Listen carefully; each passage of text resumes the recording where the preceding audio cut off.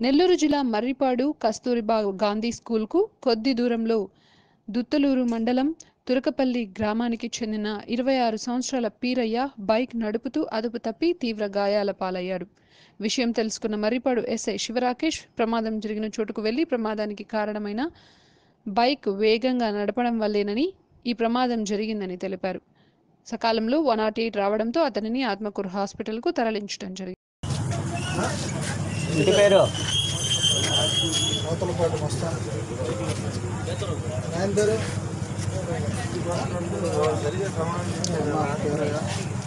వయసు ఎంత నీది? ఎవరు? తురక? తురకపల్లి. తురకపల్లి. ఏ మండలం? తురకపల్లి. కొత్తలూరు మండలం. ఫోన్ నెంబర్ చెప్పండి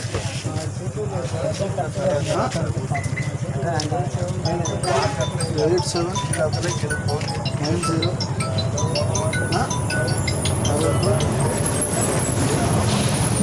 double two యాభై రెండు యాభై ఒకటి మీ ఇంట్లో వాళ్ళు చెప్పు